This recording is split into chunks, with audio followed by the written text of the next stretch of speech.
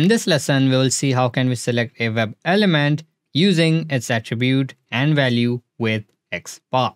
So let's say what we want to do is select all of the tags, that is the titles, with the title attribute, which we just did with CSS selectors. So to do this, we can use our e tag, that is this right here, and two slashes before it, that is any a tag inside of our document, that is a relative path.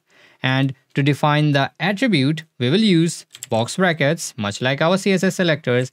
And inside of this, to define or select a attribute, we have to use the at symbol, which stands for any attribute and that attribute name, which will be title in this case. So what we have done is created a XPath selector in which we have selected a a tag with the title attribute and that attribute name should be prefixed with a at symbol like this, which stands for a attribute.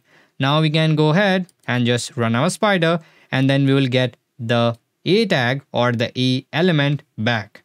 Now let's say what we want to do is select the price instead. That is this right here.